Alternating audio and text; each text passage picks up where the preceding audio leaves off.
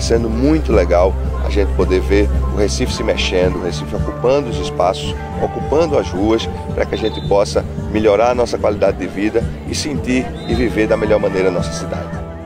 uma cidade viva, uma cidade intensa, uma cidade em que as pessoas ocupam suas ruas, suas praças, todos os seus espaços para brincar, para fazer lazer, para se divertir. Esse é um jeito do prefeito Geraldo Júlio governar e nós estamos muito felizes de podermos proporcionar a todo cidadão do Recife essa oportunidade de conhecer esportes que eles não conhecem, de viver a cidade de uma maneira que às vezes eles nunca tenham visto. E a gente está mostrando que isso acontece em todos os lugares da cidade, nos quatro cantos da cidade, as pessoas estão brincando, se divertindo e usando a cidade da maneira como ela deve ser usada para o seu cidadão.